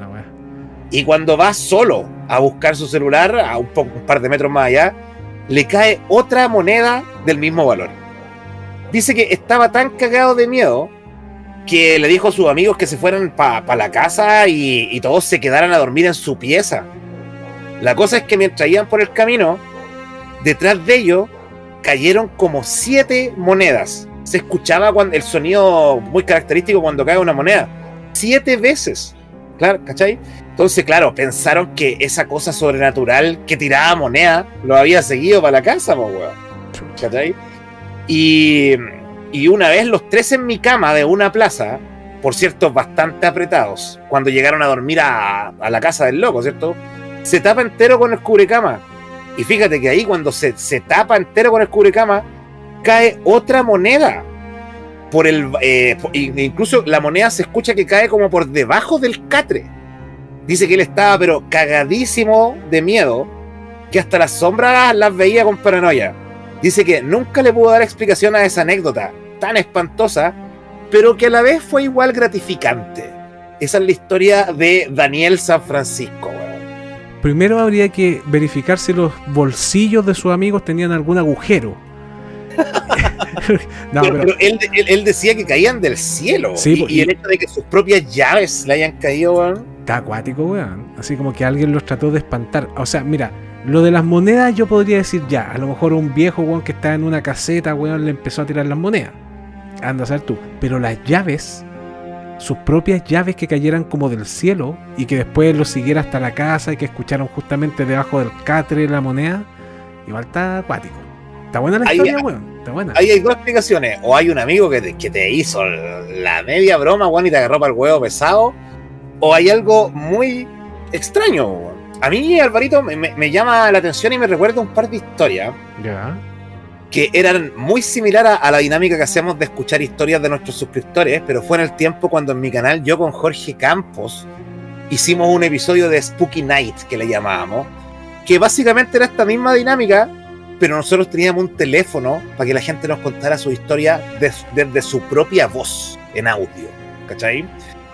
Y resulta que como tres o cuatro personas, bueno, de, de- de- de que no se conocían ni cagando entre ellos, me contaban que trabajaban o de colectiveros o de taxistas, ¿cachai? Y todos tenían historias de pasajeros fantasmas, pero lo curioso de, lo- estos pasajeros fantasmas era que pagaban, po, weón.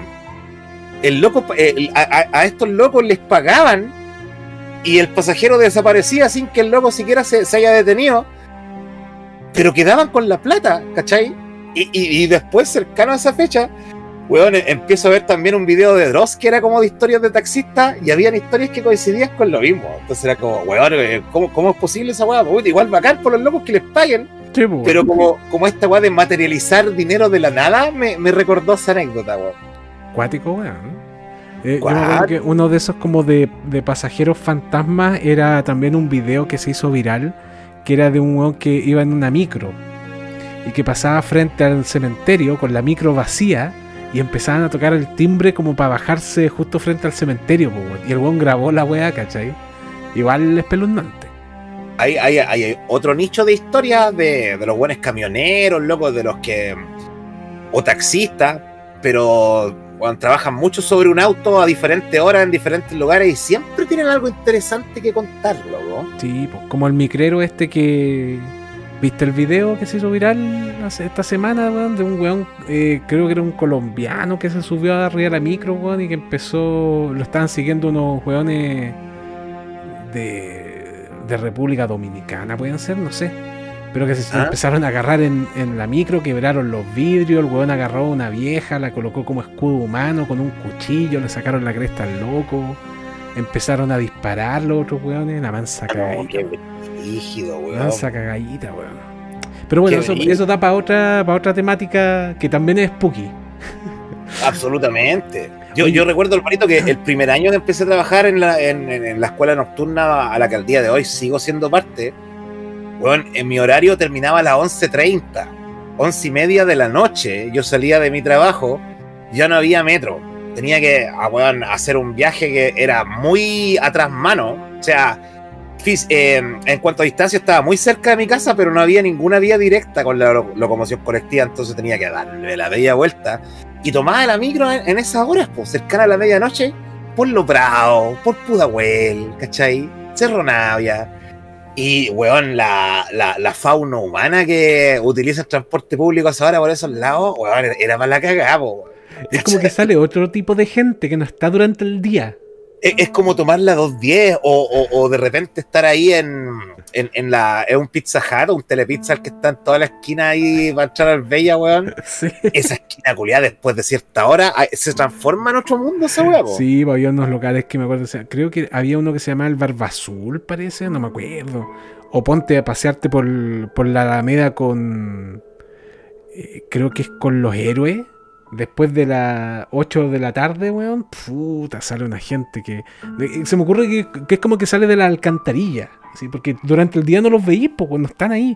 Es como esa weá de la purga. Se Sí. esconde el sol y, y empiezan a salir los, los- los Sí, locos así. y se abren como unos locales que, weón, nunca están abiertos durante el día. Solamente después de en la noche, cuando no anda nadie, se empiezan a abrir. A mí me ha tocado pasarme un, un par de veces por ahí, weón, y es raro, raro el ambiente, weón. Hay Pero unas puertas, hay unas puertas como que, Rafita, como que de repente se empiezan a abrir y como que sale una pierna, pero no alcanza a salir la persona, queda solamente la pierna afuera. Como con unos tacos.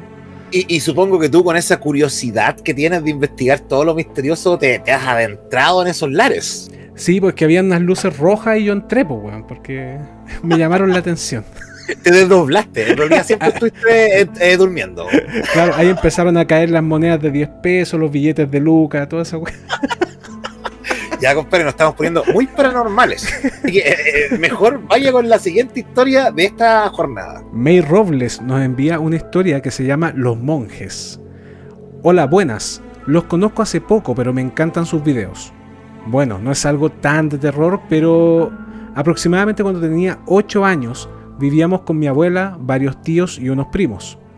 Uno de mis tíos estaba enfermo y enviaron una carta a unos monjes. La cosa es que supuestamente recibimos respuesta y había que hacer varias cosas de una lista. El paciente debía estar eh, con una camisola blanca y todos los muebles de su pieza también tapados con tela del mismo color blanco. No recuerdo bien la hora, pero supuestamente eran tipo 7 u 8 de la tarde, y mi abuela dejó la puerta principal abierta, porque eso decía la carta, y todos debían estar encerrados en sus piezas. Pero la, cu- la curiosidad fue más fuerte, y resulta que vi alrededor de 8 personas altas, todas con túnicas blancas con la cara tapada, entrando a la pieza de mi tío. Después de que los vi, volví a mi pieza. Al día siguiente se los comenté a mi familia, pero nadie más los había visto ni sentido. Por lo visto, nadie, nadie más había entrado a la casa. Mira, May Robles no nos envía la historia completa. No sé qué es lo que pasó finalmente con ese tío, pero. Ah, Ya, pero sí, eh, puede ser que efectivamente le haya faltado enviar la otra parte. Pero aún así, weón, yo dentro de mi círculo familiar y gente cercana he escuchado montones de historias de estos supuestos monjes que hasta donde sé son brasileños. ¿En serio? Sí, provienen de Brasil.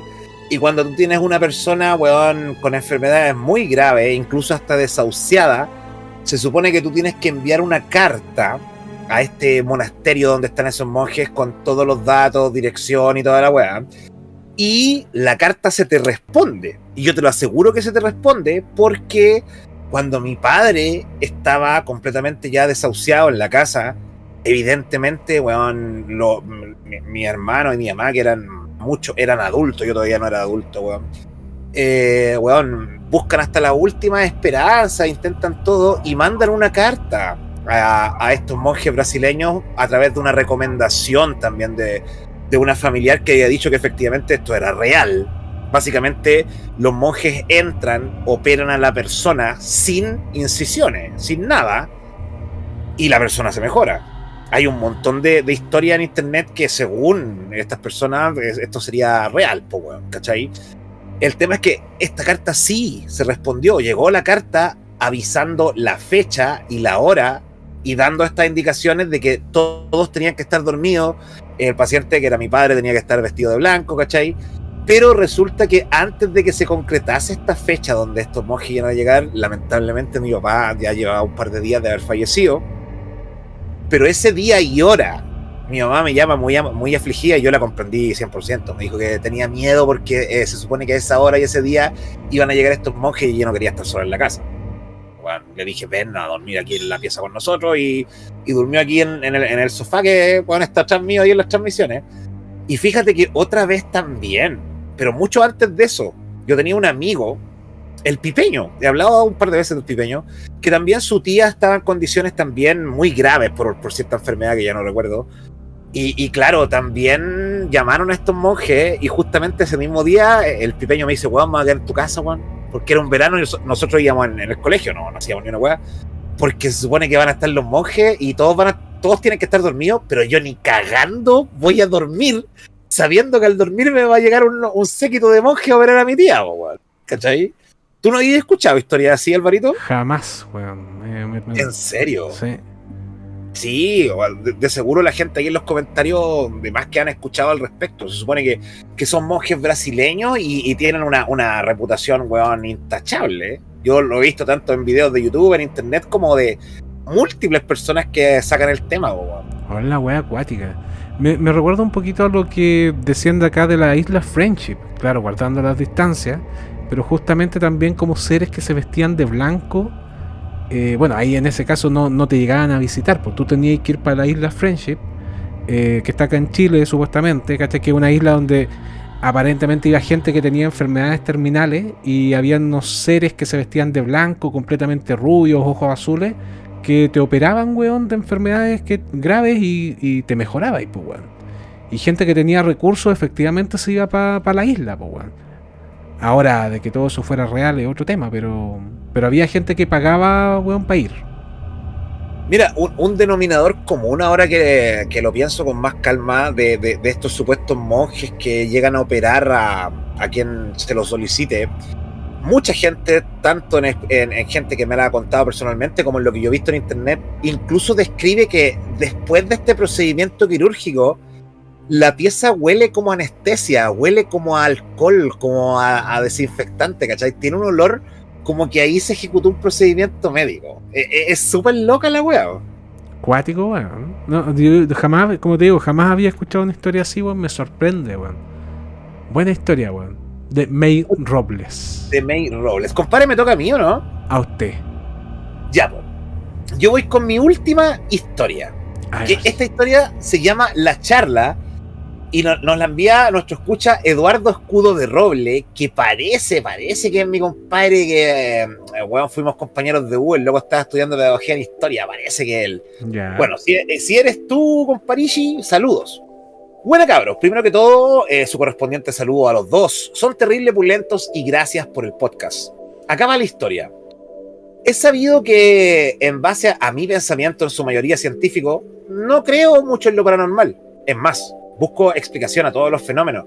Y la mayoría de las veces se puede deducir que ocurrieron por efectos de, ambi- de ambiente, intervención humana. Pero lo que presencié me dejó con la mandíbula en el suelo.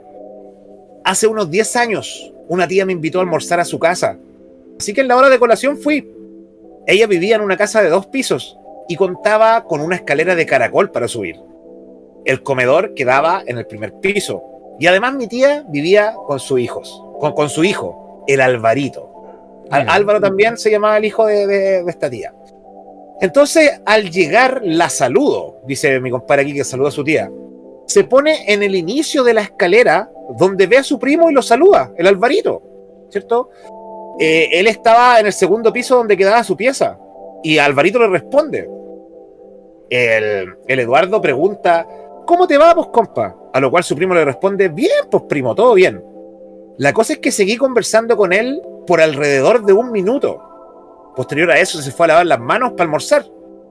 Pero al salir del baño, comienza eh, el Eduardo a poner individuales, a, hacer la mesa, Juan, para ayudar a la tía. Pone tres individuales, que eran para su tía, para su primo Álvaro y para él. Pone el servicio y los platos. Y ahí es cuando la tía le pregunta, ¿pero por qué pusiste tres platos? Y él le responde, para mi primo, po. A lo cual ella con una sonrisa burlesca le dice que lo suba a buscar. Es como, suba a buscar a tu primo. El Eduardo subió y no había nadie. Resulta que el primo estaba en el colegio desde la mañana. Sinceramente dice, quedé impresionado. No con miedo, sino que con una sensación de asombro. Es tan así que me negué a que esto eh, hubiese pasado. Lo busqué hasta por debajo de la cama para saber si no me estaban agarrando para el huevo. Lo más impresionante es que yo hablé con alguien que tenía la voz de mi primo y la apariencia de mi primo por alrededor de un minuto. La risa de mi tía era porque estaban acostumbrados a que en esa casa pasasen cosas similares. Era una casa muy helada y su primo, que en ese entonces tenía unos 10 años, dice que siempre veía a una anciana en el ventanal. Saludos cabros y por mil años más de Fuimos Buenos, en la historia que manda Eduardo Escudo de Roble. Cuático, weón. Porque justamente también hemos hablado de esta, de la posibilidad, Rafita. Bueno, una posibilidad remota, pero una posibilidad de que cuando ocurren este tipo de cosas sean como entes que se apoderan de la imagen de, de algunas personas de una vivienda, pues, weón. O sea, es, como súper eh, creepy pensar que una weá así puede ocurrir, pues, weón. Pero, ¿cómo te explicáis algo así? Eh, claro, o sea, no, no es lo más difícil de explicar que hemos escuchado en esta jornada, pero lo que me llama la atención también es, la cantidad de veces que uno oye historias similares. Yo te he contado más de una vez, no tiene caso que lo vuelva a contar. Que tanto tú como yo, ¿cierto? En nuestras respectivas casas, la gente que vive junto a nosotros, bueno, ha tenido las mismas experiencias de verme a mí o, de mi hijo, de ver a su mamá cuando no estamos ni cerca de, estar en casa, Es como un poco espeluznante pensar que una wea puede, una wea así puede ocurrir, pues, weón. Sí, porque Mira, diferente es que te cuenten, oye, vi que tu papá me llamaba por un segundo en un pasillo o escuché que gritaron mi nombre. Claro. Pero Eduardo dice que él estuvo frente a su primo conversando por alrededor de un minuto, interactuando. Y que incluso cuando la tía le dijo que el primo no estaba, buscó hasta por debajo de la cama porque pensó que lo estaban huellando, ¿cachai? Entonces, como, claro, es para quedar impresionado. Sí, bueno. Yo tengo una, una historia por acá Mira la, historia de Danilo Alex. Danilo Alex es nuestro anfitrión cuando fuimos ahí a, a, Coquimbo. Así que un saludo para el Danilo. Sí, pues un Danilo, un, Danilo especial. Un saludo especial a, Danilo. y su, su, historia se llama Era una estatua. ¿Ya? Buena cabros. Quería hacer mi aporte con una historia familiar. Esta historia le ocurrió a mi hermano mayor el cual eh, la narró solo una vez a mi familia y nunca más, y ellos me la contaron. Pero por años intenté e insistí conocerla, ya que él nunca quiso, digamos, ahondar en esto. Pero tras 15 años de hostigarlo, lo logré. Aquí va. Yamil, mi hermano, tenía 25 años en ese entonces. Estudiaba Derecho en Copiapó y recurrentemente eh, volvía a Coquimbo a vernos como familia. Siempre se venía con mi tío que trabajaba en esa ruta repartiendo y coincidían para venirse juntos. Ese día se venía de noche por la ruta 5 hacia Coquimbo. Estaban animadamente conversando cuando de repente la radio sube el volumen drásticamente y al costado derecho de la carretera se asoma una estatua. Mi tío mira a mi hermano y le dice, no se aparecerá. A lo que mi hermano, impactado y asustado, se queda mudo y atento observando. A lo lejos, al mismo costado de la carretera, se ve una silueta de una mujer de jeans azul, camisa blanca, tez blanca y su cabello cubriéndole el rostro, pies delgados y haciendo dedo, o sea, haciendo como auto-stop. Ellos asustados siguen avanzando. Ella empieza a caminar, pero ellos se dan cuenta que sus pies no tocan el piso. Mi tío acelera y en el último momento mi hermano se da cuenta que le vio la cara. Esa cara dijo que es la que nunca se le olvida. Luego mi tío dice que él conocía la historia de ella. Dice que fue una mujer que al hacer dedo la tomó un camionero que abusó, que digamos que abusó de ella y la mató, y la dejó ahí tirada al costado de la carretera. Ahí se encuentra una animita y se dice que su espíritu siempre aparece y se le sube a los camioneros. Por eso siempre pasan a prenderle velas para que no, digamos, se les aparezca nuevo. Ese día mi hermano llegó pálido y asustado. Tiritando nos contó la historia incluso ya siendo grande durmió con mi padre. Y ahora al contármela igual se ve, eh, digamos, temor en su rostro. Bueno, espero les haya gustado. Saludo a la linda comunidad y un abrazo cabros.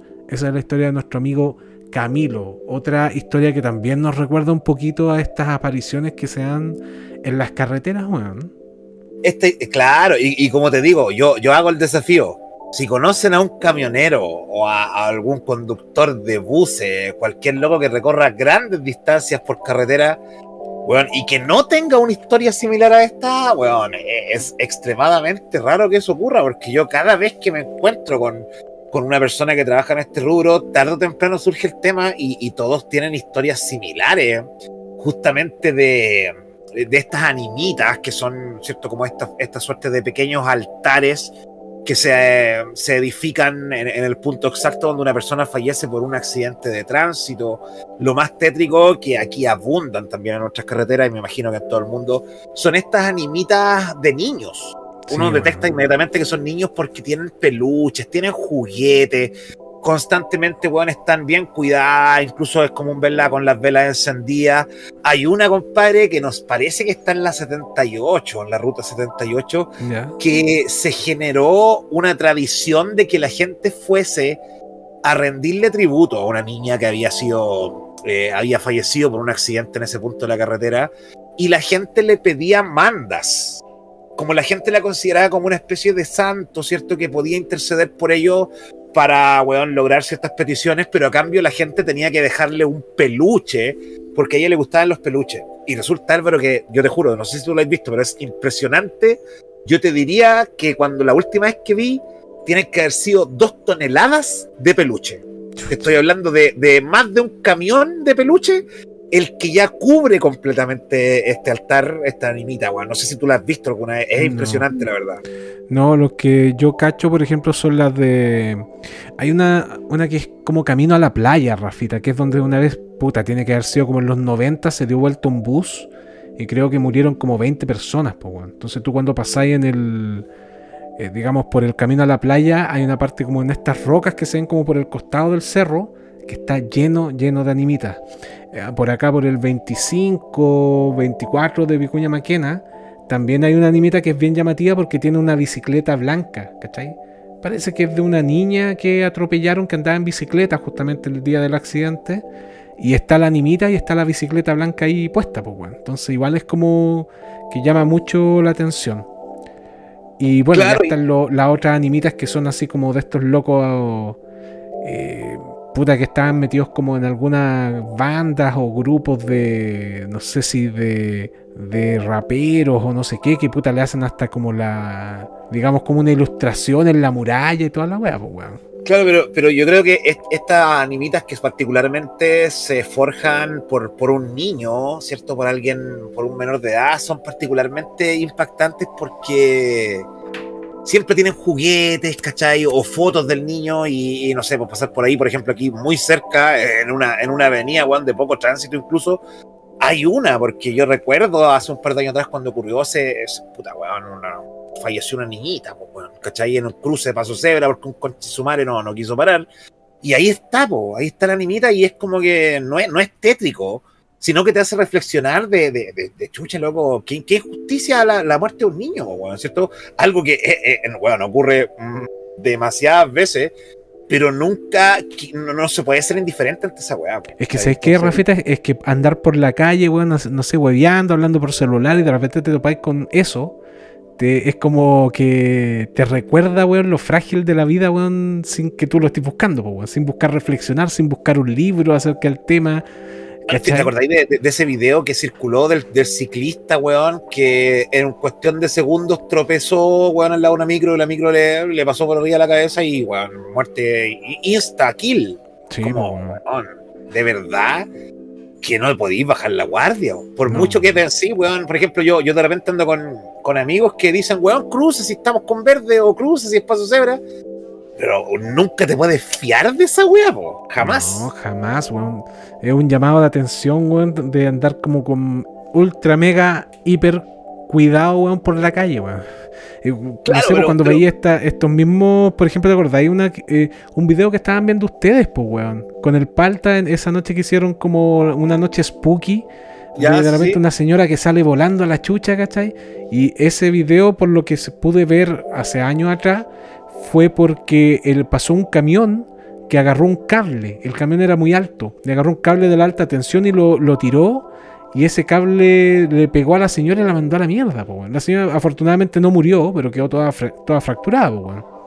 Claro, weón. Aunque, weón, de repente, por, muy cuidadoso que seáis, si te tocó la mala wea, te tocó. po. Por ejemplo, no sé, por videos de estos conductores que sin razón aparente se desvían, weón, hacen un giro en, en 90 grados, weón, y, a- y arrollan a toda la gente que está ahí en la, en la vía pública. Es, es, Acá ocurrió un caso, Rafita, hace también que, puta, que fue como bien mencionado en, en ese entonces por los periódicos y por la televisión, que fue de una familia que iban en un auto y creo que chocaron, weón, no sé en qué parte, weón. Y murió, creo que murió el papá y la mamá, ¿cachai? Y los hijos creo que no habían querido ir con ellos en ese momento y fueron al lugar del, accidente y puta, y lo atropellaron y también se murieron. Se murió toda la familia, weón. Dura, weón, qué terrible. La weá para la cagada, imagínate, todo, weón, era como que estaba predestinado, weón, que todos murieran en el mismo sitio, weón. Ahí, ahí como te digo, eh, no es de, extrañar que en este, en, particularmente en este episodio hayan salido de estas historias que para mí cada una fue como un buen ejemplo de leyendas que se repiten en todos lados. El pájaro relacionado con brujería, el fantasma de la carretera, apariciones en hospitales, ¿cachai? Interesante el tema, weón. Sí, weón. No, y acá nos han mandado un montón de historias. De hecho, nos quedaron un par en el tintero que tal vez podríamos tocar en un próximo capítulo. Recordemos que todavía estamos en el, en el mes Spooky. Todavía nos quedaría un capítulo más pues, para la próxima semana. así es, pues así que gente, manden más historias, manden más eh, vivencias, porque claro, como bien dice Alvarito, todavía tenemos más, pero bueno, si ustedes todavía no se convencen ni se animan de, hablarnos, loco, háblenos. Apenas yo puedo, les contesto los mensajes y para que puedan enviarnos su historia completa, porque, bueno, salen historias muy interesantes, Alvarito. Sí que sí.